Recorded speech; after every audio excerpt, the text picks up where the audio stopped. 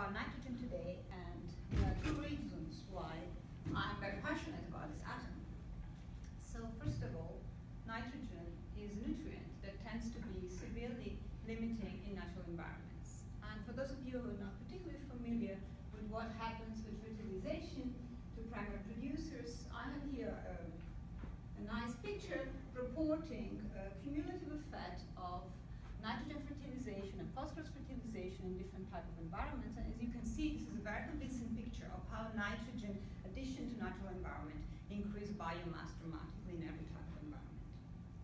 The other piece of the story, why I'm passionate about nitrogen, is that nitrogen is a fundamental component of amino acid and nucleotides.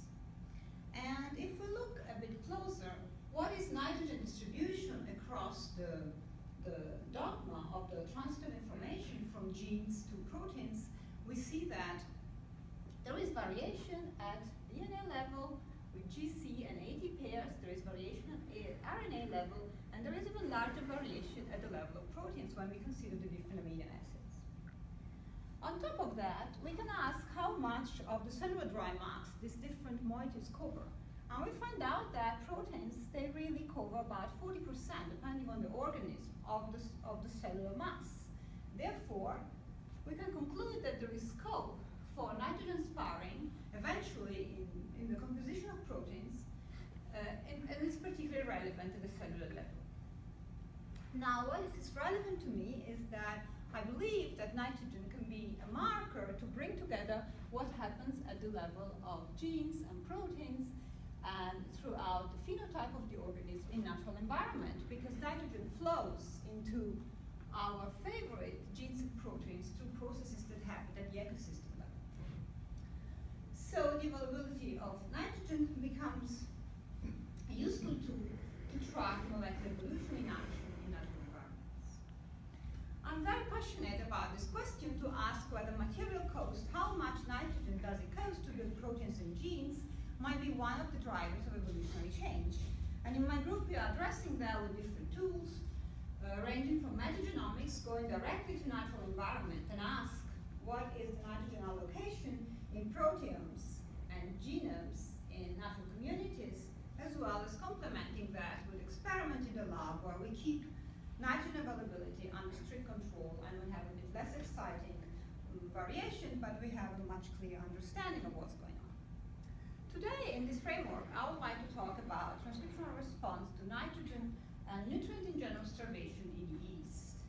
So the idea behind looking into that my side is that if millions of years of evolution have really shaped the composition of genes and proteins based on the cost of critical nutrients that are allocated in those, then you would expect to see a signature of that in the transcriptional response to different types of stresses. So I'm presenting here the analysis of a work where yeast was kept suddenly very unhappy and starved separately for nitrogen as well as for carbon completely, and gene expression time series have been collected over time, ranges from 10, 10 minutes up to 8 hours. So what we expect in this, what we wanted to ask in this setting is whether the proteins which are highly expressed in response to nitrogen starvation has eventually been shaped by selection for low nitrogen allocation. You are in a setting where nitrogen is limiting and you've been experiencing this setting for a really long time because this is a recurrent this is a recurrent limitation in natural environment. Did natural selection see that? Did it collect, did it did it introgress this information in the composition of genes and proteins? So, uh, I, first of all, thinking of nitrogen starvation, I want to look into this uh, metabolic setting and ask what happens when compare the proteins that in these conditions are up or down regulated in response to this very strong, severe limitation. And we would expect, of course, that proteins which are upregulated in response to nitrogen starvation, there is no nitrogen around, will have a lower nitrogen allocation. So we ask this question to the data, looking at the nitrogen per site in average in the proteins which are overexpressed over time. Those are the time series we're looking. And we see that after 10 minutes, this prediction is not really fulfilled. This is not what happens. However, as soon as 30 minutes kick in, and for the next eight hours, after that we stop the experiment, we see that there is a variation between the proteins which are upregulated in, in blue compared to the proteins which are downregulated in dash blue here, in light blue And this fulfilled the expectation that eventually natural selection cares about this allocations. And we use carbon starvation as a control, which is to me much more relevant, and I will get back to that point in a minute, much more relevant than the real unstarved control. And we expect no differences because the currency here is non-nitrogen, and indeed we observe no, no differences when we, um, if at all, in the opposite direction, when we compare these two different data sets.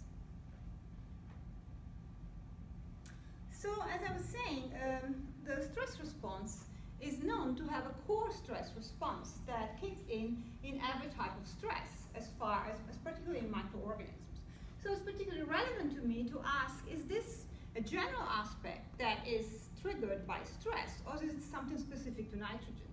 And so we dissect a bit more the intersection between two experiments and consider the, the intersection as the common stress response and two specific stress response. And focus now on the proteins which are indeed producing this condition. And what you see here is that when you compare the strict uh, response, you see a decrease in nitrogen content um, from 60 minutes to 8 hours consistently uh, for over about over 10% of variation. And besides talking about um, statistical significance, I'm interested here in discussing how really this is particularly relevant. So this is the molecular moieties which are highly expressed in this setting.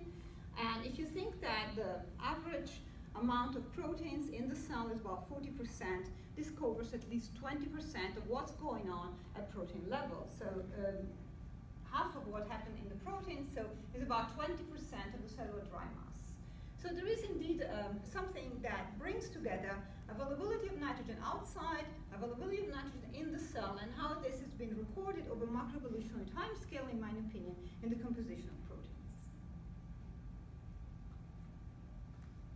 So I'd like to challenge these pictures, thinking on two possible alternative explanations and thinking of this parsimonious nitrogen allocation. And one is about structural constraints, and one is about how the real amino acid cost, which are behind this nitrogen content, which is just an average uh, linear combination, let's say, of the different amino acids. So structural constraints are indeed a problem because here I'm comparing the proteins which are highly expressed and I eventually have completely different structures on one hand, one might argue this is what the self is doing indeed. On the other hand, how about what happens with structural constraints? Are they enough themselves to explain what's going on? So structural constraints are quite tricky. What you'd like to have is some nice crystallography like this is a transcription factor. However, if you want to work with full genome, this is far from being a realistic possibility. So as evolutionary biologists, we know something and we know how to estimate evolutionary rates and use those as proxy for functional constraints. This might introduce some noise, however, it gives a lot of power and you can work with a full genome in this setting. So uh, when you project um, evolutionary rates, you can really uh, transform your protein sequence in a palette of values and decide what is viable and conserved and have a clear gradient. Now, the reason why we care for that is that I believe that functional constraints and material costs, if material costs are there, there's something inversely related.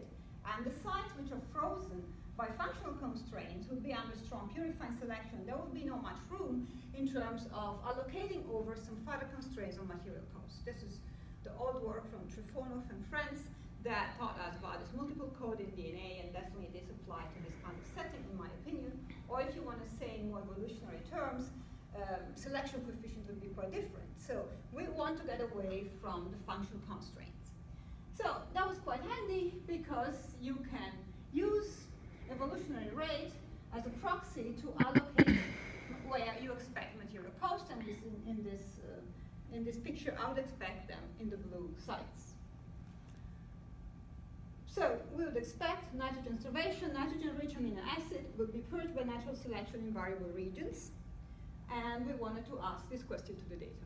However, there's another aspect. This nitrogen per site is just a linear combination of amino acids. So we wanted to think of amino acid in terms of how much do they cost. And here there are two currencies, which is kind of tricky.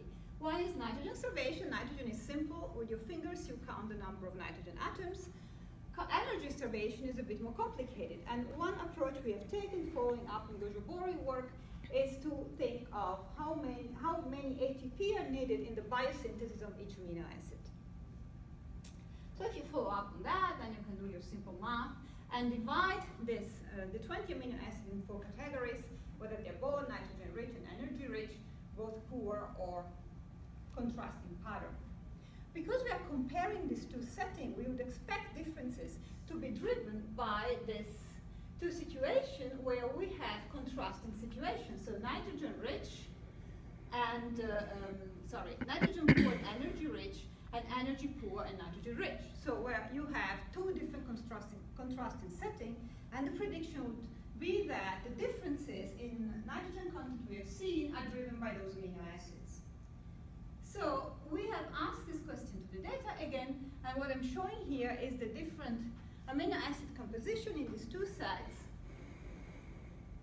in a situation where I here the, the plotting the percent variation for each of the 20 amino acid, percent variation in the set of proteins upregulated versus downregulated uh, under nitrogen starvation and the carbon starvation. And I'm keeping track of the categories where the amino acid belong to, and I'm doing that separately in fast and slow evolving sites. And as I see in fast evolving site, as expected, I find the picture is still a bit noisy, but the trend is that nitrogen-rich amino acids tend to be depleted in the, mm, in the proteins which are upregulated in response to nitrogen starvation, while energy-rich nitrogen poor tends to be upregulated in the proteins which are upregulated in response to carbon starvation. And this picture is much less clear when you look into the slow evolving sites. Maybe some of you are already wondering whether I'm doing some magic here to divide fast versus slow. We have used different cutoff for that on evolutionary rates. And this is a, one of the one of the picture I'm showing you, but this is about when we use uh, normalized is about 1.2 here, the threshold, but when we play around with numbers, that the picture doesn't really change. So uh, to wrap this up, what I've shown you is that there is a different nitrogen allocation in upregulated versus downregulated proteins in response to nitrogen starvation over eight hours. But this is not the case when you look into a different type of starvation, advocating for the stress response as such to not be the primary driver of this process we have seen that proteins which are upregulated in response to nitrogen starvation show low nitrogen content, particularly in regions which are less busy with functional constraints. And we have seen that this can be explained by the amino acid cost, by synthetic costs. And of course, we are trying to head towards systems biology to really track the metabolic fluxes in the cell and to get a stronger grip on what's going on. And I finally like to thank co-workers in my group and uh, Max Planck Institute and our funding agency, and I'll be very happy to take questions.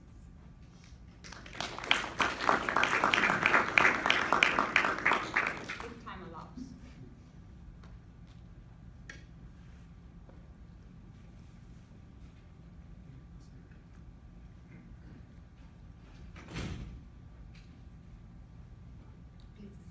Yeast lends itself very well to a synthetic approach. Pardon me?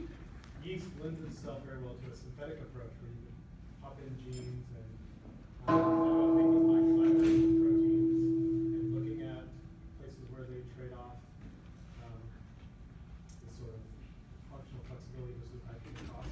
That's a very good point. We, that's a very good point. We, we used, let's say, this um, evolutionary rates as a setting to, to, to think in this direction.